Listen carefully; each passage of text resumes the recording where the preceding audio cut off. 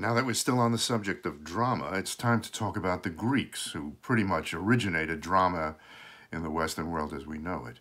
Uh, Greek civilization flourished in the 5th and 4th centuries BC when they made major contributions to civilization that are still with us today. Architecture, history, the idea of history, in fact, um, poetry, and um, most of all, maybe drama. Um, well, of course, philosophy is important, but we're, we're considering something that is really accessible to almost everybody, and that is the idea of tragedy. Tragedy is a human perception of life that uh, is is, rather deep, and, and, it was the Greeks who originated this um, with their three great uh, playwrights, Aeschylus, Sophocles, and Euripides. Uh, we're going to deal with Sophocles and Oedipus the King, but first I, I want to just mention something about the theory of drama, and that comes out of Aristotle's Poetics. Aristotle wrote now in the latter half of the 4th century BC. He wrote many books, but the book, uh, or the essay that seems to have survived beyond all the others, is one called um, Poetics. In this, he discusses what are the element, what the elements of tragedy are. Now, the main element of the tragic, um, of the tragic mode is the tragic hero. The tragic hero is an interesting um, perception of human personality that uh, we don't always see in the movies. We don't see in popular um, drama today that particular feature. Why? Because the tragic hero is someone who fails in the end, someone who unfortunately falls and falls by reason of his own decisions, by reason of his own failure to see things clearly and to see himself clearly. And Aristotle pointed out the character of Oedipus, who was the king of Thebes, or the, what they called the tyrant in those days, uh, who was somebody who was very great. He was uh, someone in an elevated position who, because of his decisions and because of his lack of self-knowledge, actually fell from grace in, in, a most deplorable way. And this is what we're going to be reading today, or to, over the weeks, rather. You can start today, I hope. Uh, and uh, understand that it's not going to have a happy ending. Somehow, uh, American audiences want the happy ending, uh, but uh, that's not always realistic. And so uh, we want to understand something more deeply about the human condition not only about the greatness of the human condition, but about its limitations. And this is what Aristotle points out to us occurs in the perception of the tragic hero. The tragic hero, he says, is somebody who is great, somebody who is in an elevated position, like a king, and who's a good, basically a good person, but who has uh, certain flaws and who makes certain errors along the way. His chief flaw is um, defined by the Greek word hubris, H-U-B-R-I-S. And this means tragic pride. It means over, um, over assessing one's ability to deal with everything. And uh, during these days of the coronavirus, uh, we do get the feeling that we uh, we really can't deal with everything. So it's almost a, a tragic um, thread that is running through our culture at the moment.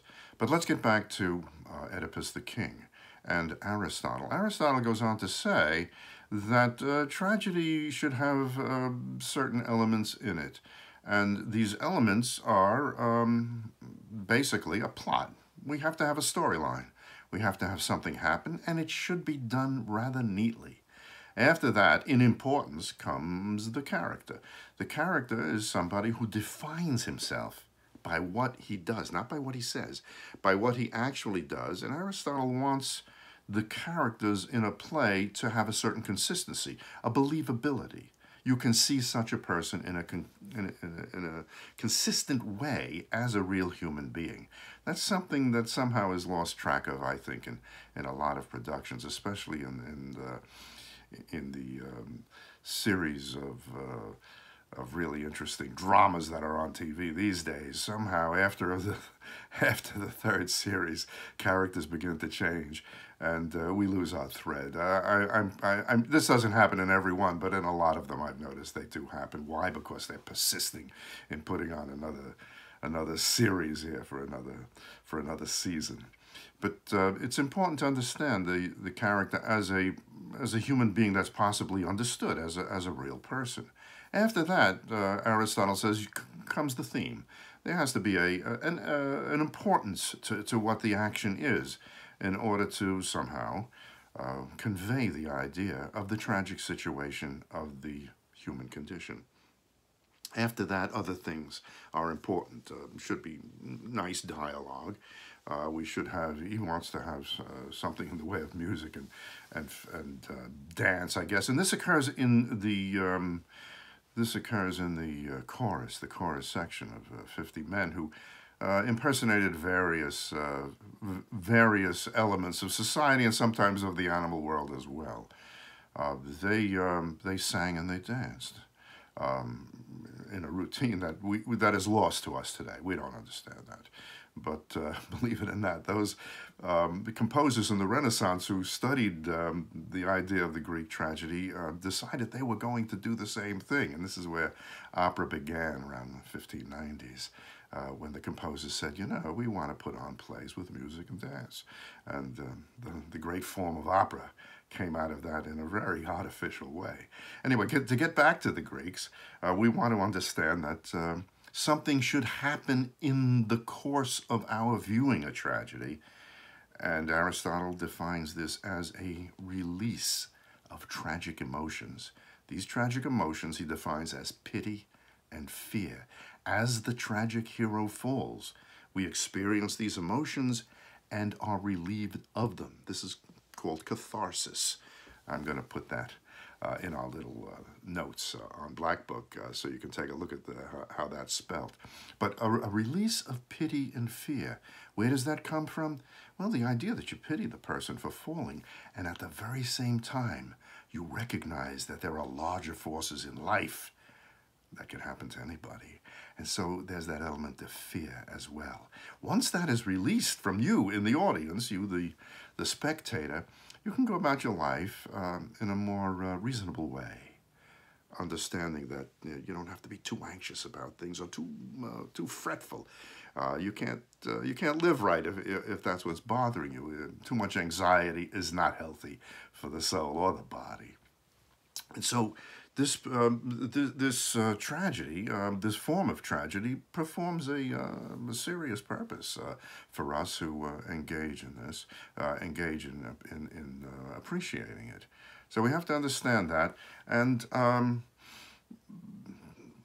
we want to also understand that you know the word tragedy is kind of used in a very sloppy way these days. Strictly speaking, tragedy occurs because the hero causes his own uh, fall. Sometimes it's demise. In the case of Oedipus, it's not his death, it's something else, as you'll see. Tragedies occur, you know, in a general way when somebody gets into an accident, but we don't identify with that in the same way that we see somebody causing his own ruin. There's a completely different, then we might say spiritual motif there. Uh, the, the final question we want to ask ourselves, and that often comes up with Oedipus, is does he cause his own tragedy, or is he a victim of fate? Has the god Apollo determined that his destiny should be what it, you know, what you're going to find out uh, has been?